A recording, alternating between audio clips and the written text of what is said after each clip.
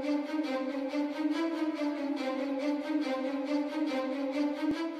guys, this is your Stu and to review the Pogo Lego Blade Star Wars uh, Cloud City Boba Fett. So, uh, this is the figure right here. It just comes in a very simple packaging. And yeah, so this is set uh, PG6 uh, I'm not sure why they wrote uh, Boba Fett in the um, uh, in the picture, but um, yeah, I guess it's probably just a mistake. But um, let's get into the figure. So this is the Boba Fett uh, figure right here, and yeah, so he's armed with uh, his blaster, which is accurate to the movies, and yeah, uh, this is a custom mold, I believe, uh, made by Pogo and it does look very cool with the stock and the scope and yeah uh, this figure is from the very old uh, Cloud City set, which is uh, definitely nice. And yeah, so the, the the helmet and the jetpack mode they are the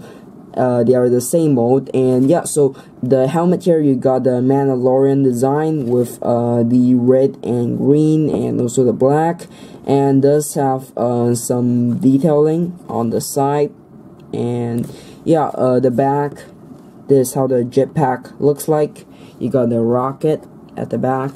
And yeah uh, under there you just have a uh, black head. And the torso here is uh, very accurate to the official Lego figure you know very simple design but does have some detailing on the the main chest piece and does have side arm printing so on this side you got this uh gold gold colored uh, shoulder pad with the wrist rocket I guess or the flamethrower I'm not sure.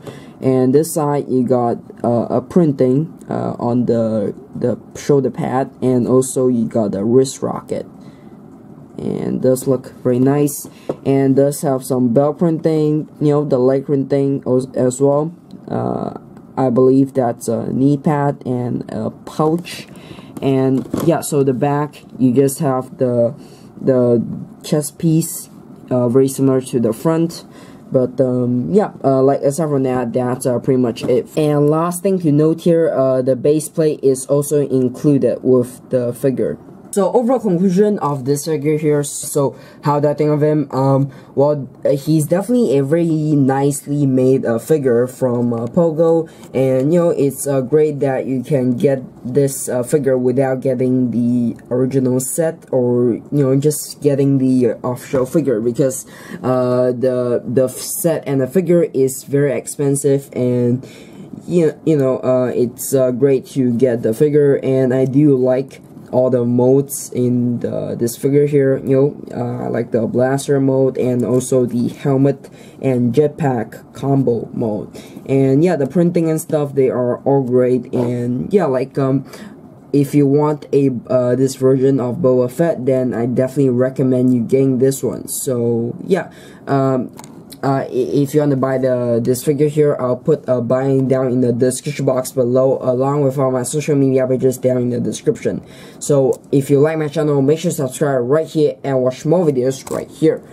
So that's it for the video. Thanks for